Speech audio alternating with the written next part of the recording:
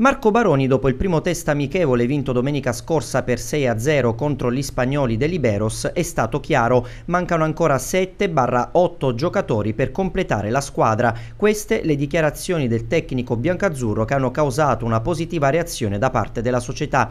Il DS Peppino Pavone, infatti, nelle ultime 36 ore ha effettuato due nuovi acquisti. Il primo è l'attaccante Federico Melchiorri, che ieri ha superato senza problemi le visite mediche. Il secondo acquisto è Raffaele Puccino, laterale destro difensivo che arriva in prestito dal Chievo Verona con la metà del cartellino di proprietà del Sassuolo e che a breve raggiungerà i compagni di squadra nel ritiro di Boario. Ritiro che ieri ha accolto altri due volti nuovi provenienti dalla Juventus, il portiere Vincenzo Fiorillo ed il centrocampista Gabriella Appel Pires.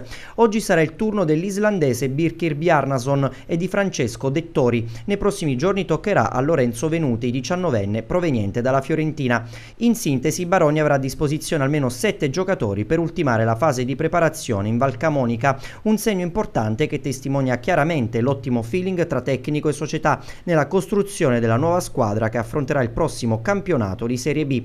A breve verranno acquistati un terzino sinistro ed un centrocampista per completare definitivamente la rosa. Nel mirino ci sono l'ex Empoli Flavio Lazzari e soprattutto uno dei pupilli di Baroni, l'austriaco Marcel Buchel. La Juventus, proprietaria del cartellino, vorrebbe infatti inserire l'ex mezzala del Lanciano in qualche trattativa con altre società di Serie A. Il Pescara quindi attenderà l'evolversi della situazione per poi far partire l'assalto. In tutto questo Baroni si dice soddisfatto per queste prime settimane di lavoro. La costruzione del Pescara che verrà continua.